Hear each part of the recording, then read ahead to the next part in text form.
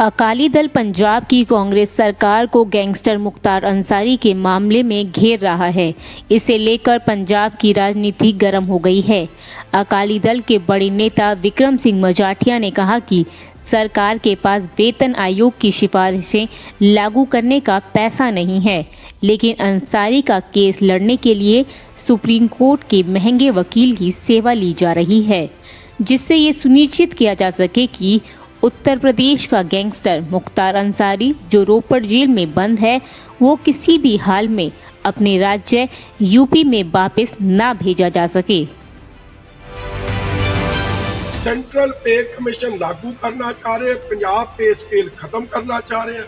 ਕੱਚੇ ਤੋਂ ਪੱਕੇ ਮੁਲਾਜ਼ਮਾਂ ਨੂੰ ਕਰਨ ਦਾ ਜਿਹੜਾ ਪਹਿਲੀ ਕੈਬਨਿਟ 'ਚ ਵਾਅਦਾ ਸੀ ਉਹਨੂੰ ਕਰ ਨਹੀਂ ਰਹੇ ਜਿੱਥੇ ਕਹਿੰਦੇ ਖਜ਼ਾਨਾ ਖਾਲੀ ਇਹਦੇ ਲਈ ਤਾਂ ਪੈਸੇ ਨਹੀਂ ਐਸਸੀ ਸਕਾਲਰਸ਼ਿਪ ਲਈ ਪੈਸੇ ਨਹੀਂ ਮਗਰ ਜੇ ਮੁਖਤਿਆਰ ਅੰਸਾਰੀ ਦਾ ਕੇਸ ਲੜਨਾ ਹੋਵੇ,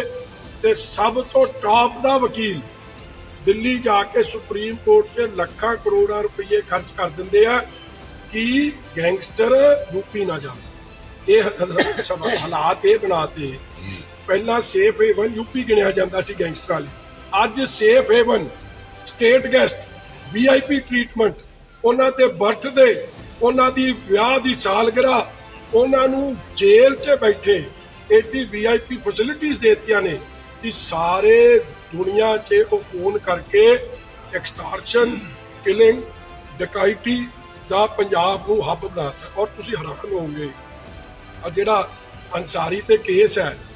ਉਹ ਜਿਹੜਾ ਅੰਸਾਰੀ ਨੂੰ ਜਿਸ ਕੇਸ ਤੇ ਲੈ ਕੇ ਆਏ ਹੈ, ਉਸ ਕੇਸ 'ਚ ਉਹਨੇ ਨਾਂ ਹੀ ਨਹੀਂ ਲਿਆ ਮੁਖਤਿਆਰ ਅੰਸਾਰੀ ਦਾ। ਉਹਨੇ ਕਿਹਾ ਇੱਕ ਅਨਸਾਰੀ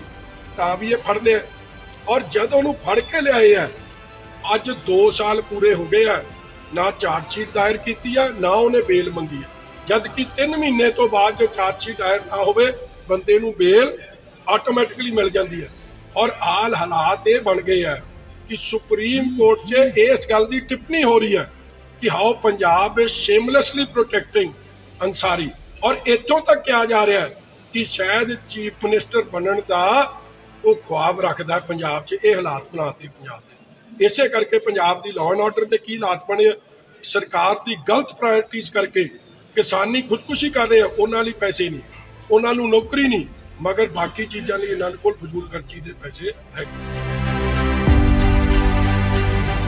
आपको बता दें, विक्रम सिंह मजाठिया का आरोप है कि पंजाब में होने वाले 2022 विधानसभा चुनाव में मुख्तार अंसारी के ज़रिए कांग्रेस चुनाव में गड़बड़ी कर सकती है, इसलिए कांग्रेस मुख्तार अंसारी पर मेहरबान है।